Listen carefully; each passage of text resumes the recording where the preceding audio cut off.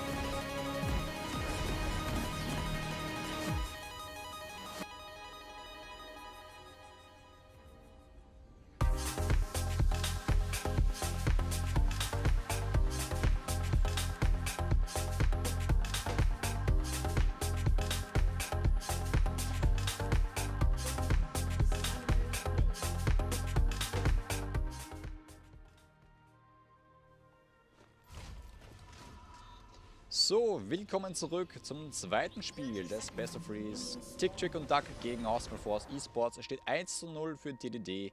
Das heißt, Austin Force muss hier unbedingt dieses Spiel gewinnen, um sich den ersten Sieg eventuell noch sichern zu können.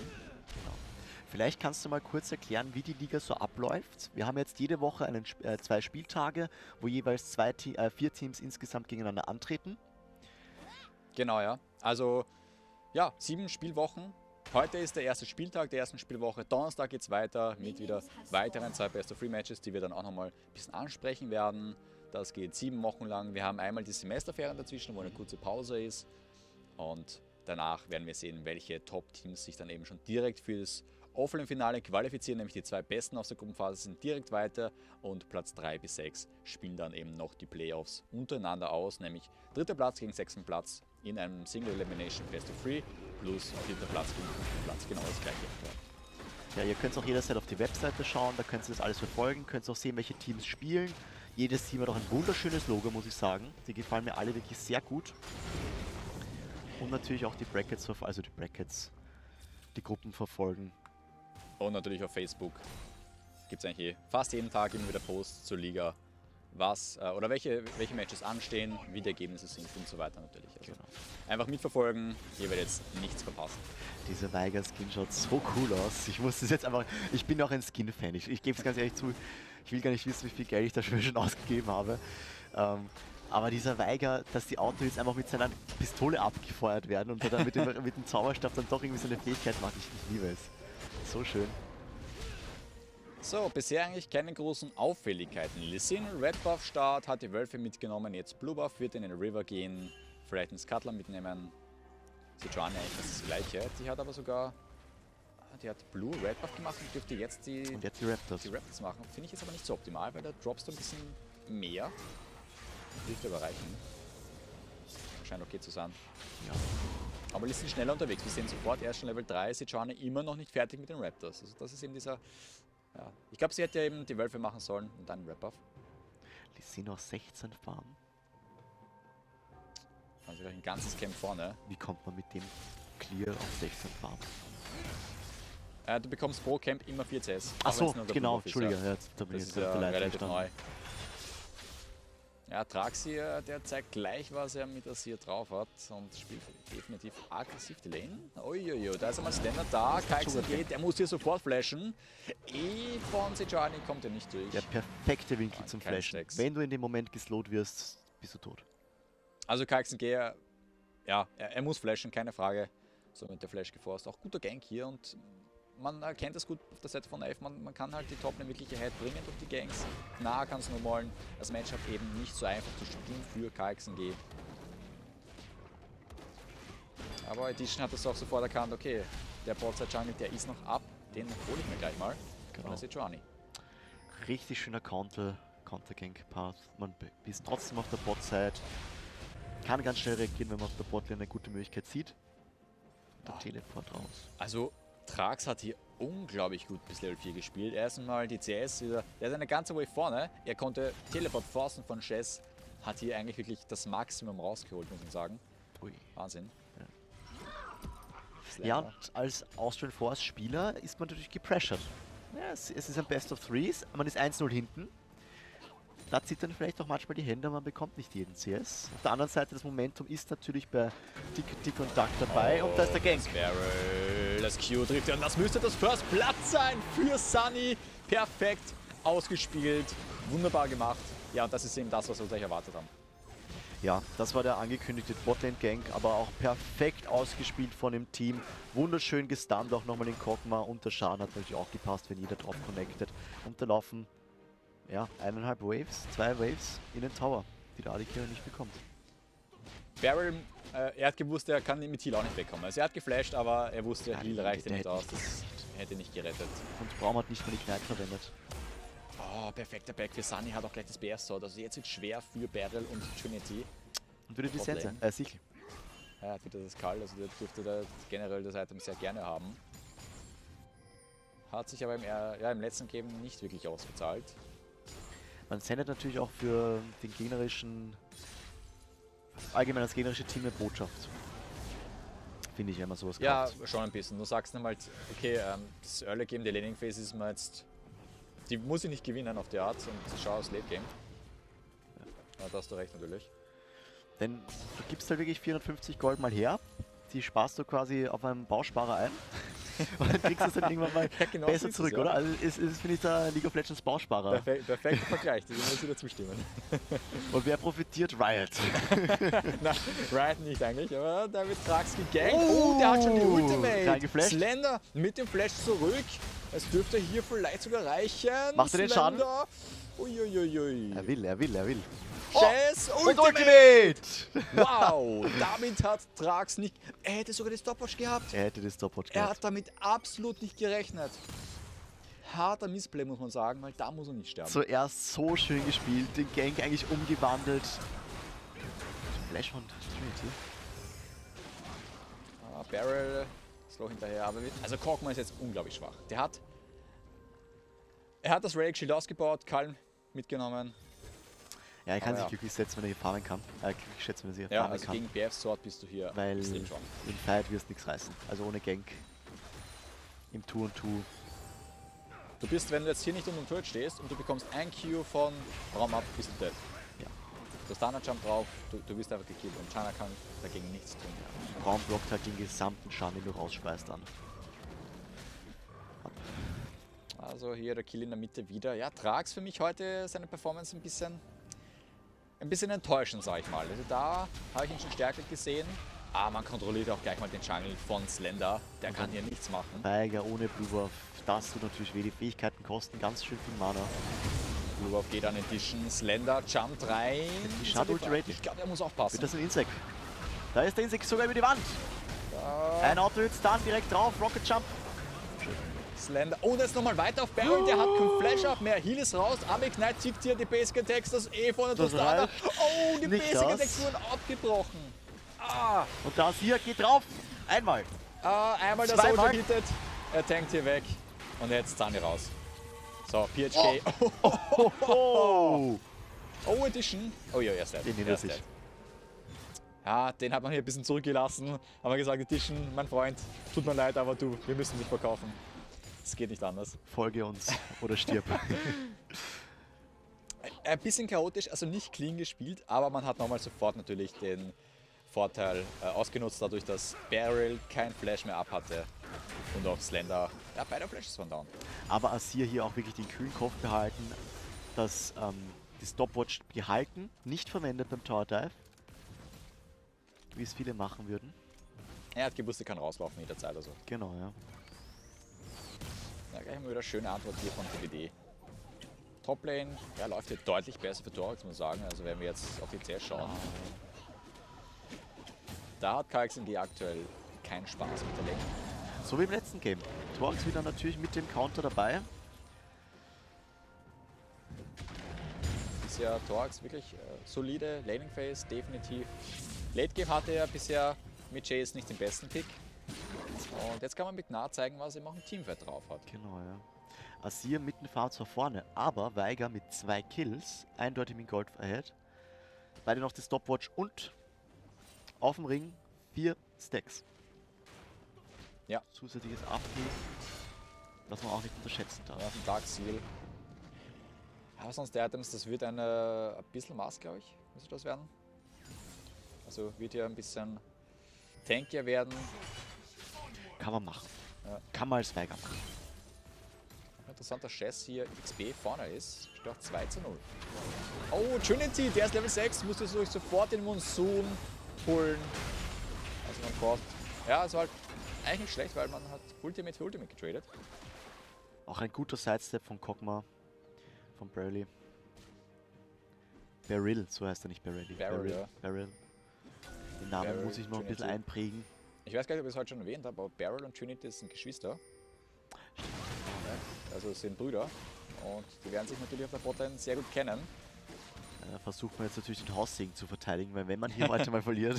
Also ich, ich kenne es aus eigener Erfahrung, als, als Geschwisterpaar kann man sich schon mal sehr schnell flamen. Das ja, passiert. das geht echt schnell. Ich hoffe natürlich, dass das bei Ihnen nicht der Fall ist. Nein, wir sind jetzt professionell. Jetzt wieder klein und perfekter Gank. Jetzt kommt der Gang auf der Top. Torx hat auch Flash an. Wirklich? Aber auch schön gemacht Ja. von den Tischen. Sehr Oh. Schaden. Der Knockup Oh, nochmal. Ultimate von KXNG. Aber der hat. Oh, er muss umdrehen. Er muss umdrehen. muss er hat umdrehen, er muss umdrehen. mehr. Die Kuh! er hat die Stopwatch. Ich glaube, er hat keinen Mana mehr gehabt fürs Ja. Ultimate. Das Essen ist sich nicht ausgegangen. Ich wollte schon sagen, Kill geht an KXNG, aber kein Mana. Jetzt der Gang auf der Botlane Slender. Aber das war zu tief, ja. Also da konnte man nicht voll. Und das ist der Nachteil an Kog'Maw und Chana. Du hast jetzt. Du hast halt viel zu wenig Follow-up eigentlich. Da hätte ich mich jetzt persönlich für einen Drake entschieden. Ich weiß, der Jungler ist top, der ist low, der kann auch nicht vorbeikommen. Da hätte ich. Drake wäre eine Möglichkeit gewesen. Meine, ja, ey, also ich meine, äh, ein Mountain Drake, den, den hat man schon gerne. Also Ja. das ist schön. Oh, schön hier wieder von Chess. Immer wieder die Codes. Oh. Oh, Slender. Das hat er. Der hatte die, die Range vom Jump, glaube ich, unterschätzt. Ich Ja. habe gedacht, also, also er hätte gedacht, dass Trax ein bisschen, äh, also, oder weniger weit kommt. Ja, dann aber wenn er das, das- richtig macht mit der Kuh, hinziehen und dann erst wegkuhen. Oh. Nächstes lang hier. Kann nochmal gedodged werden. Auch der Asis-Skin richtig schön. Diesem Jade-Speer, den er da hat. Ja, die Skins generell, also hier. Die Spieler zeigen, was sie haben. Hier. Aber ich muss sagen, da hat sich auch Riot richtig stark gesteigert mit dem Skin. Wenn ich jetzt so drüber nachdenke, an Kleeblatt Malfit, Malphite, ja. das ist so Also nicht Mal- mehr vergleichbar. Malphite, die alten Skins von ihm. Also ich habe Malphite extrem gerne gespielt, Ja, aber die Skins waren halt wirklich grauenhaft. Halt. Ja. Und jetzt mit, mit, äh, mit dem Optimus Prime Skin, ich nenne ihn halt immer Ja. so, also mit, dem- Transformer, den es sogar im Chroma Package gibt und, und ach, Alter, Ich habe diesen, ich glaube Obsidian Skin ist das. der ist auch schön. Der, der ist Ja. wirklich cool. Ja. Ja. Und jetzt wird natürlich von TTD Drake angefangen. Ja, super cool. Äh, Veigar war in der Base, sie hatten gerade durchgepusht auf der Botlane. Wann willst du dann Drake, also sonst Drake machen, wenn nicht jetzt? Genau. Keine Frage. Wann nicht dann? Ja. Oh, Toplane! Aber nochmal Wichtig. mit der Stopwatch. Da wird der Äh. Fels nochmal aufgesammelt. Ulti ist aber schon raus. Ja, also Thorax immer noch dominierend auf der Toplane. Und eben auch 20 Farm, knapp ahead. Also aktuell, ich denke, es läuft okay für TD. Also ist halt die Frage für mich, oh, aber. Oh ja, der Dive zu spät. gegen Barrel. Der Schaden ist zu gewaltig Edition mit dem zweiten Kill. Und somit, Heal raus, Flash raus. ja, keine Antwort auch von AF. Jungler auf der Botlane kann äh, woanders eben nichts machen. Ja. Slender ist momentan nur im Nachlaufen. Das ist eben das Problem, weil bei sowas musst du halt wirklich aktiv selbst äh, am besten parallel äh, sofort was machen. Vielleicht Toplane ganken, vielleicht Mitte ganken, vielleicht sogar Herald machen. Es muss halt was dabei rauskommen. Ja. Ich finde aber auch, dass Slender, ich will jetzt nicht irgendwie in Flame verfallen, auf keinen Fall, ja, also, aber Slender hat mir auf Rek'Sai besser gefallen als auf Sejuani momentan. Ich denke, das Problem aktuell ist, dass sie eben jetzt eine Losing Botlane haben, also eine deutliche Losing Botlane. Ja. Und er müsste sich ein bisschen mehr Richtung Toplane und Mitte orientieren. Mhm. Zwischen, ja, einfach Top und Mitte, Jungle farmen und Edition noch wieder am Counter Jungle. Nämlich eigentlich wollen sie diesen Sugar ganken. Genau so ist es. Konnten sie bisher noch nicht Edition realisieren und jetzt wird sogar Torx gegankt. Ich glaube, jetzt weiß er Bescheid. Edition, der hat noch keinen Kick-Up. Red Buff, der Slow Q jetzt nochmal hinterher. Schaden, Knock-Up jetzt aber von Kalxen geben. Das müsste der Kill werden für ihn.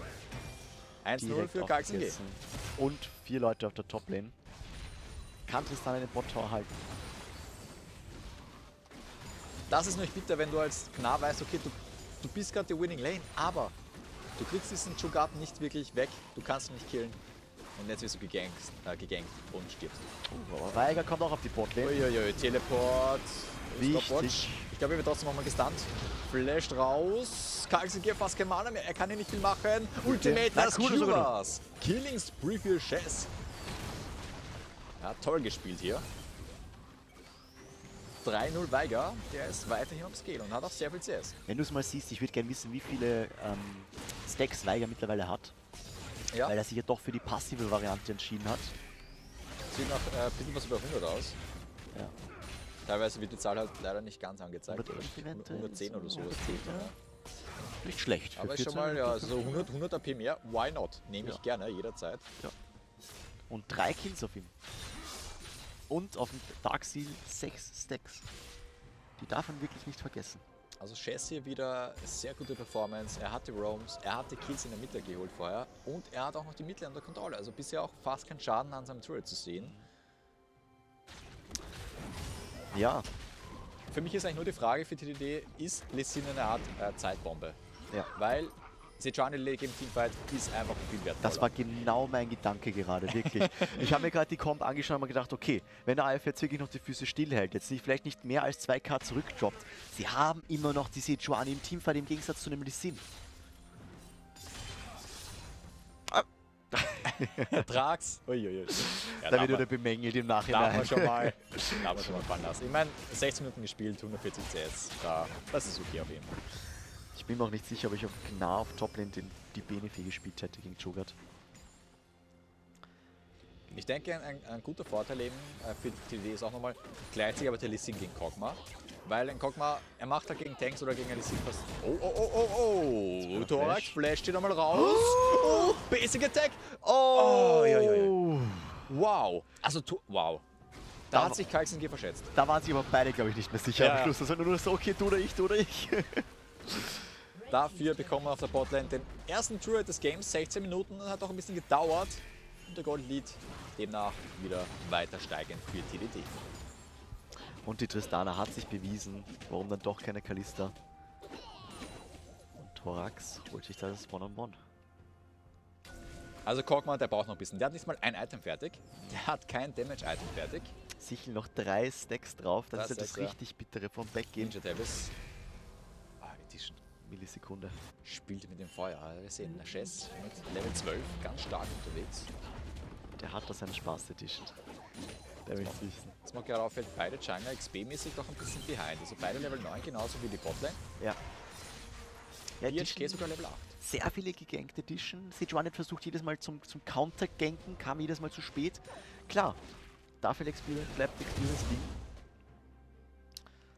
Aber wenn man sich hier auf Raptors und Golems konzentriert, kann man es ja sehr, sehr schnell wieder aufholen. Die geben richtig viel Experience her. Also ich bin auch ein bisschen verwundert, warum Edition hier nicht äh, XP erhält. Er hat mehr CS, er hat mehr Kills, wesentlich mehr Killbeteiligung. Und ja, Sejuani trotzdem Level 9. So, Top Lane. Vielleicht den Lane Swap hinterher ist auch relativ Standard mittlerweile, wenn du den Bot bekommst als Bot Lane sofort gehen. Trinity. Also wie auch Die Insect. Oh, schöne Kom. Oh, Der Monsun. Hat nicht getroffen, also Braum Ultimate nicht on point. Dafür ist nochmal der Re-Engage gegen Edition. Der kann rausflashen.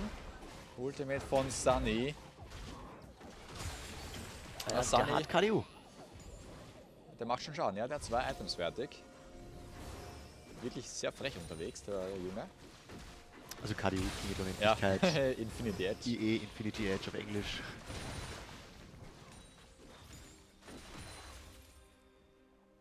Ja, Guck mal. Erstes Item fertig.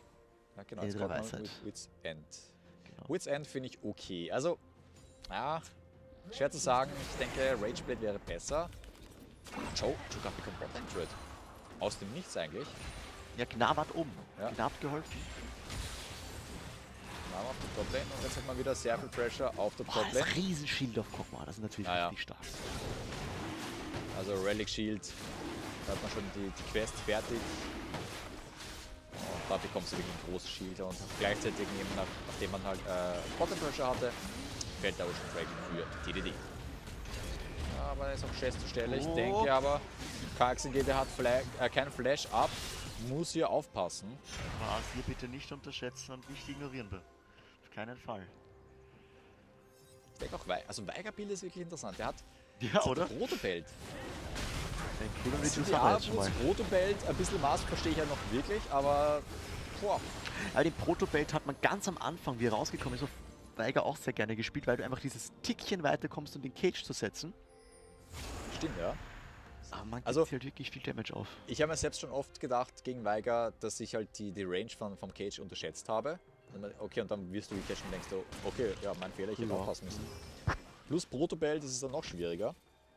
Weiger momentan, ich habe jetzt gerade die AP-Anzeige gesehen, noch nicht einmal 300 AP.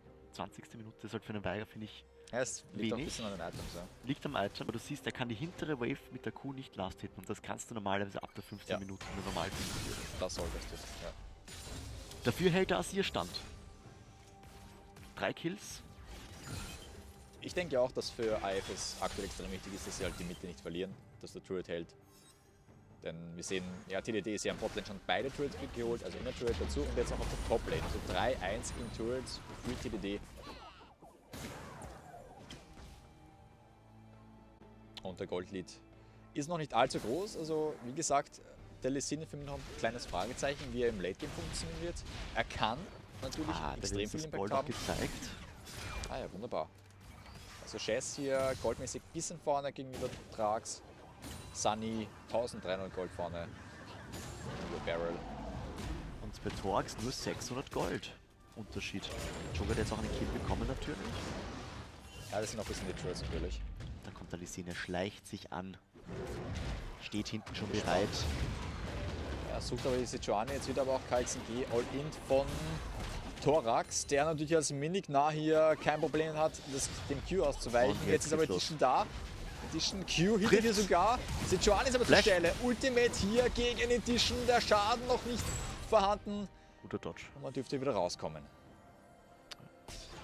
Diesmal war er rechtzeitig. Slender dieses Mal rechtzeitig. diese Rotation hat man übersehen, aber KXNG, Oh! der wittert hier sofort die Chance. Der Jazz kann natürlich KXNG finishen. Das war schon gemacht von KXNG. Er hat gewusst, er ist dead, holt sich aber noch den einen Kill. So, Mitte dafür. Trax auf der Toplane ein bisschen eigentlich out of position, weil er aktuell kann er nichts machen. Und sie verlieren den Bot Turret. Trax jetzt am Pushen. Ja, die Rotation kommt von PHK und Sunny. Kokma immer noch ein Item bis jetzt fertig. Tristana ist schon am dritten dran. Hat dafür die Boots noch nicht fertig gebaut. Teleport von Chess. Mittlerweile auch schon 8 Stacks auf seinem Dark Seal. Und Jenna hat sich für dieses Support-Item entschieden. Okay. Ja, ein Sensor. Gibt er den Lifesteal jetzt nicht mehr? Mit Damage mit Tech Speed. Ja, also es scaled halt wesentlich langsamer. Aber ich denke, so ab Minute 25 ist Ansensor immer noch sehr gut, vor allem für äh, ja, Basic Attack, AD Carries. Sowas wie Kog'Maw natürlich. Natürlich, bestes Beispiel. Ja. Aber ich hätte es jetzt nicht als erstes gebildet vom Gefühl her. Ja, die Items gehen auch ein bisschen seltsam. Jetzt haben wir Rogue Crystal mit dabei. Ich hätte schon an, also nicht Ansensor, Redemption vielleicht noch geholt zum Beispiel. Das oder vielleicht auch ein Solarie eventuell. Ja. Aber gut, Aber gut. mal Adensenser fertig. Hilft natürlich genau auch im Notfall. Ja. Auch viel Auto. Oh, das sieht nach einem Rageblade aus als zweites Item für Barrel. 2k Gold Unterschied. Hält sich noch in Maßen, aber der Mid-Tower immer weniger Leben. Also man merkt wirklich, dass TDD gerade am Ruder sitzt, was die Map angeht. Sie haben AC top, AD Carry in dem... Oh, Solo-Kill auf der Botlane. Karxen G. Ui. Was macht dieser Junge in diesem Game? Wahnsinn. CS-mäßig eigentlich ordentlich behind, aber er Solo-Kill jetzt hier mal Thorax. Und das ist natürlich huge für TDD. Und Jogar ist nicht das Einzige, was hier wächst. Oh, Trax mit dem Oh, oh, oh. Outplay vielleicht, jumpt hier nochmal hinterher, die Soldiers, reicht aus. Oh, das W nochmal. Oh, Da töten oi, sich oi. gegenseitig. Aber schöner Flash von Trax. Konnte ein W dodgen. Das zweite, das hat er nicht mehr gesehen. Sunny wartet hier auf der, in der Mitte schon geduldig darauf, im Tower endlich zu finishen. Die Bombe drauf, explodiert. Ah, es reicht noch nicht ganz. Eine Ja, also- mehr braucht Meins gegen 1 braucht ihr noch keine, oder ja, braucht ihr keine Angst zu haben vor Slender. John alleine ist jetzt hier nicht allzu stark. Aha, interessantes Ultimate hier von Möchte Slender. den Tor nicht hergeben. Die ist schon auf der Top-Side unterwegs, auf der Top-Lane. Mittlerweile 3000 Gold Vorsprung für die TDD. Äh, TDD. Das wird gleich noch mehr. Muss gleich mehr werden. Eins, zwei, drei. Und Tower ist vorbei, ne? 4k Gold. Also ich finde es wirklich genial, dass es hier keine zu eindeutigen Games sind. Oh, der Baron-Start. Baron-Start für TDD und der müsste auch hier down gehen. Man hat gar keine Vision hier, man ist viel zu weit entfernt. Jetzt weiß man Bescheid, aber Joggert das Fressen man, ab. ja, man ist zu spät da. Der ist ihn. Er ist den ja. Aber, Aber wie? aber auch von PHQ direkt die Ultimate hingesetzt. Sejuani braucht nicht mehr in die Nähe kommen. Ganz Genau klare so Botschaft. ja. Da wollte man nichts riskieren. Super Baron Call, man hat eben sehr gute Kontrolle über die Vision gehabt. Weißt du, welcher der ältere Bruder ist? Trinity oder Beryl? Ah, ich glaube, es ist Barrel, will ich meinen. Bin mir jetzt nicht ganz sicher. Ich glaube, äh, beide so 20 bis 22 Jahre alt. Also, ich sag mal, mittelmäßig alt für League of Legends Gibt's Reckless denkt mit und auch ältere? 16. Bist du auch Fnatic-Fan, oder? Ja, ja. Schon mal. Was hältst du vom momentanen Liner? Ja, ähm, es ist okay. Also schon seitdem halt Xpeke und Co. halt weg sind von Fnatic, ist es immer so ein bisschen, ja, okay, aber es ist trotzdem noch okay. Für Beefen ist auch nicht mehr, glaube ich, ne? Naja, für Biffen auch schon lange weg, Games sind schon vorbei. Reckless, Reckless natürlich der absolute Stammspieler. Ja, der hat sich da wirklich einen Platz erobert, anfangs Yellows da weggenommen und einfach nicht mehr hergegeben. Gut, aber jetzt mit dem Bärenbauch, jetzt läuft es natürlich für TDD. Gold Lead, ja, explodiert, könnte man sagen, mittlerweile 6000 Gold. Und man merkt auch schön, man will jetzt gar nicht mehr so die großen Teamfights forcen, man will die Map spielen. Man will auf jeder Lane Pressure haben, man will den Baron Buff ausnutzen, man will die Turrets haben. Man lässt sich auch wirklich nichts anfackeln. Es ist die 26. Minute. Nicht. Okay. Doch ein bisschen unterm Turret gelockt, aber er kommt nochmal davon. Baron Powerplay. Oh, der Schaden auch schon von Sunny. Der tut weh, hat schon drei Items fertig. Interessant, dass Sunny sogar Mercury's hat. Also das habe ich fünfmal Mercury's bei TDD. Musst du machen gegen Weiger. Musst du machen. Ja, macht Sinn natürlich. Gegen Weiger, gegen Sejuani, auch gegen Gnar natürlich. Die haben sehr viel CC. Der könnte vielleicht sogar den kommen. Oh, das Slow kommt. Nicht der Call, jetzt raus. das Commitment. Flash nochmal. Heal. Jetzt das Star nochmal gegen Edition. Da kommt das Ultimate raus. Aber keiner geht down. Jetzt kann wir nochmal disengagen. Thorax kommt nicht hin. Sunny spielt das wunderschön. Baron hier den Mid-Tower zu holen. Also wieder Jogar Toplane, genauso wie Trax auf der Botlane, aber TDD möchte resetten. Das ist auch ganz wichtig, dass du halt koordiniert zurückgehst, dass du halt wieder gleichzeitig als Team auf der Map sozusagen äh, Druck aufbauen kannst. Das ist natürlich das Allerschlimmste, wenn dann plötzlich jemand doch noch entscheidet, einen Camp zu machen, weil ihm diese 100 Gold fehlen. Und dann musst du erst recht, da müssen vier Leute auf einen warten. Genau so ist es ja. Das ärgert, aber das haben sie natürlich gut drauf mit dem eingespielten Team, was sie jetzt auch hier schon sind. Das passt schon. Kommt mal mittlerweile das zweite Item fertig, baut jetzt wahrscheinlich einen Hurricane. Ich denke, aktuell äh, müsste der TD-Plan sein, weiterhin. Ich glaube, sie müssen jetzt nicht einmal direkt die Inips holen. Ich glaube, sie können sogar auf den nächsten Baron warten und dann dort ein Teamfight forcen. Mit den Quick Engage. Ist halt die Frage, ob sie halt nicht zu lange warten dürfen. Das ist für mich das große Fragezeichen, eben wegen Lissin gegen Weiger, gegen Die Kog'Maw. Zeitbombe. Nächster Baron, der braucht jetzt auf jeden Fall nochmal vier Minuten. Ja, und Weiger, man hat es vorher gesehen, ist nicht mal durch das Schild plus Solari bei Tristana durchgekommen mit einer QB-Kombo. Trotz 5-1. Wir brauchen sehr gute Blocks von ihm. Ja, hier wieder auf drei Lanes, es wird reingepusht. Aber es ist halt nicht leicht jetzt die, äh, die Defensive zu knacken von Osman Force. Guck mal, er macht aber irgendwie noch keinen Schaden. Er macht noch nicht so viel Schaden, wie eigentlich erwartet. Aber jetzt, oh, der Druid fällt jetzt einmal, aber Kaixen G ein bisschen weit drinnen, sehr stark committed. Ich glaube, man will ihn jetzt ein bisschen zurücklassen. Er kommt raus. Er kommt easy raus. Auch schön jetzt hier gleich in der Mitte, sehr viel Druck. Guter Schaden auf den Turret. Raum kommt da nicht raus, muss flashen. Da. Ja, jetzt hier immer wieder die Rotation. Da passiert nicht viel oder vielleicht doch? Nein. Oh, nein. ja, Mitte Tower auch fast down. Da reichen auch nur noch ganz wenige Hits. Man versucht die Base hier wirklich mit allem zu verteidigen, was man hat. Aber im Endeffekt läuft man nur von Bot auf Mitte auf Top, um irgendwas zu bekommen. Aber TDD riskieren es doch momentan gar nicht. So, Kaixen G. Also man hat noch kein Init bekommen, aber dadurch, dass jetzt die Bot offen ist, das ist halt wirklich huge für TDD. Man, wir sehen auch jetzt links oben eingeblendet. Nächster Drache, 1 Minute 40, 45 Sekunden. Nächster Baron, jetzt 1 Minute 40 Sekunden. Jetzt wieder die Recalls von TDD. Ja, jetzt kann man sich halt entscheiden, entweder wir warten noch einen Baron ab oder wir versuchen direkt den Inhib ein bisschen ignorieren. Wirklich halt eben versuchen, diesen Top- oder Bot-Inhib zu holen. Mhm. wäre natürlich wirklich, im besten Fall natürlich der Bot-Inhib, weil du halt ja wesentlich mehr Pressure auf den, ähm, auf den Baron hast. Ja, der nächste Team. Goldvorteil ganz klar bei TDD. Aber man muss als Austrian Force einfach diesen Teamfight eingehen, denn den Baron möchte man nicht hergeben. Sejuani mit Red Buff geht über die Wand. Ah, jetzt könnte man einen Engage suchen, aber das Problem ist halt, du hast den Knapp. Oh, Oh. Sejuani, David hart committed, schöner Kick von Edition. Noch Oh, guck mal, Barrel! Wow, was war das für ein Q von Edition? Holt sie mal Sejuani raus. Bravo Ultimate Knockback. Assi Soldiers durchlöchtet wird. Und ja, das muss gewesen sein. Double Kill für Sane hier auf der anderen Seite. Vier Members down von AF. Ja.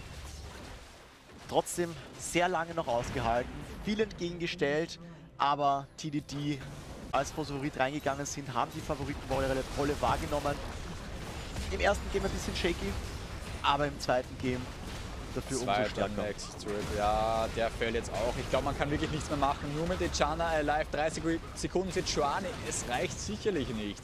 Das müsste das 2 zu 0 sein für die DD. Tabellenführer einmal aus der ersten Woche raus. Gratulation.